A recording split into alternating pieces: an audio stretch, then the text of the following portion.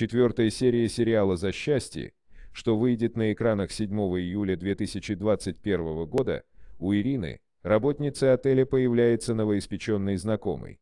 Мужчина-иностранец с нередким именем Майкл станет приятным компаньоном для девочки. Уже вечером он приглашает красотку на свидание, где желает рассказать подробнее о своей жизни и будущих планах. Пока одна стремится настроить отношения с незнакомцем, внедриться в его жизнь, окутав чувствами выдать себя замуж, у остальных начинаются недопонимания и скандалы.